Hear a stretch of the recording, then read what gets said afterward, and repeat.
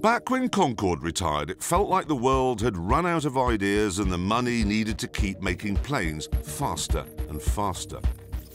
Well, thankfully, the world's motorcar engineers are made of stronger stuff than their colleagues in aerospace. The end of Concorde seemed to signal the start of a ground-based air race, the era of the hypercar. Take Pagani. The Zonda Cinque was meant to be the last evolution of Horacio Pagani's first attempt at a supercar. It wasn't.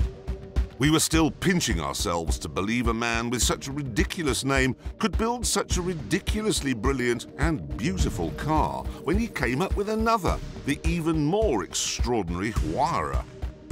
And then, of course, there's the new McLaren P1, a 900 horsepower hybrid which might just turn out to be the greatest hypercar of them all. It'll be fun finding out.